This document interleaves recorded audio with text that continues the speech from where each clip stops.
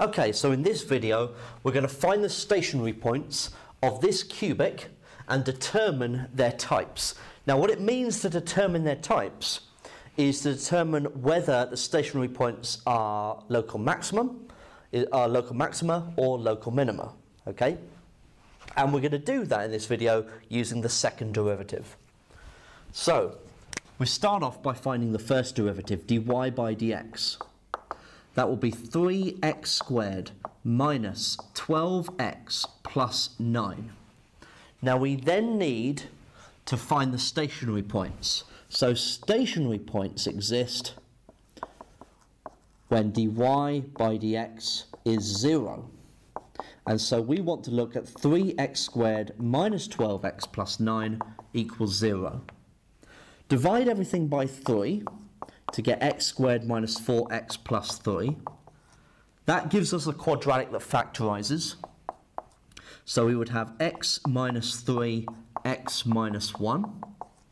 So the stationary points are at x is 3 and x is 1.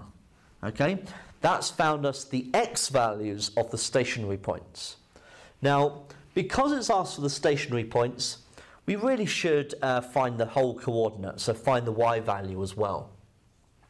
So what we need to do is we need to substitute x is 3 and x is 1 into that to find the y coordinate. So y, when x is 3, substituting in, is going to be 3 cubed, uh, take away 6 lots of 3 squared, plus 9 lots of 3 plus 1, so that gets me 1. So I know that one of the stationary points is at 3, 1. And y, when x equals 1, so we're going to get 1 cubed, take away 6 lots of 1, plus 9 lots of 1, plus 1, and that's, gets me, that's getting me 5. And so the second stationary point is at 1, 5. Okay? Now, I need to determine whether they are maximums or minimums.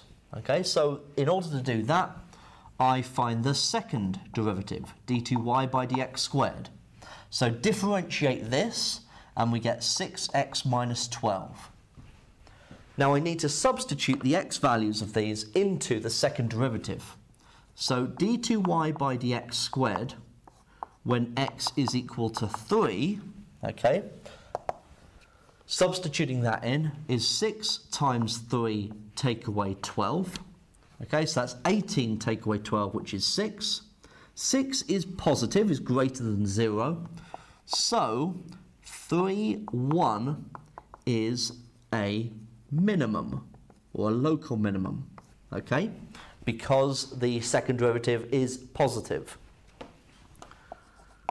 Then we substitute in the second x value, so x is 1, and we get 6 times 1 take away 12, and that actually gets us minus 6, and that's negative. So the coordinate 1, 5 is a maximum. Now you may be asking, um, why, why would we do this when we actually know that that's a cubic there are two stationary points. The number in front of the x cubed is positive, so you could just sketch the curve and identify that being 1, that being 3. And so clearly 1 is a maximum and 3 is a minimum. It's because this process will work for any function that you work with. Okay?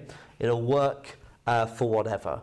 Now, we know that there are problems when d2y by, by dx squared is 0. Okay, we know there are issues there. But because this works in every, in all general cases, okay, um, it is a powerful bit kit uh, of mathematics that we can use from here on.